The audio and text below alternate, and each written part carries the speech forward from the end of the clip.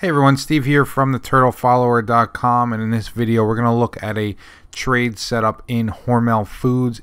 HRL is the ticker. Uh, as you guys know, we always start with the weekly chart first, so uh, let's do just that. You can see on the weekly chart we have this nice trend line moving higher.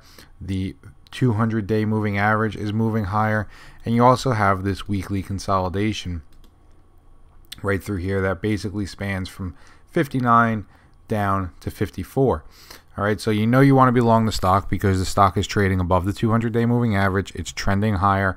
And it looks like it's at a good point where it's breaking out. So now we turn our attention to the daily chart. Take a look at that.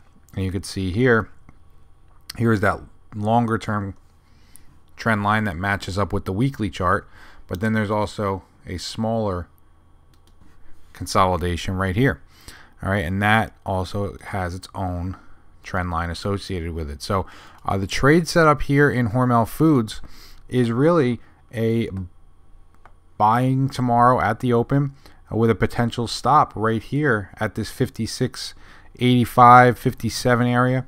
All right? And at this point we're getting a breakout not only on the daily chart but also on the weekly chart.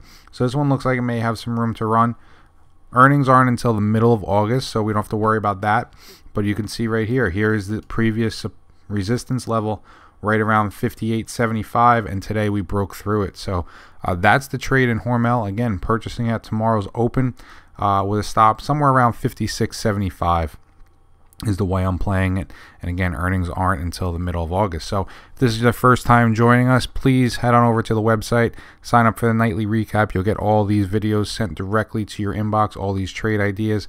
Uh, recently, we've had trade ideas in Facebook, a short idea in, in American Express, which is working out well.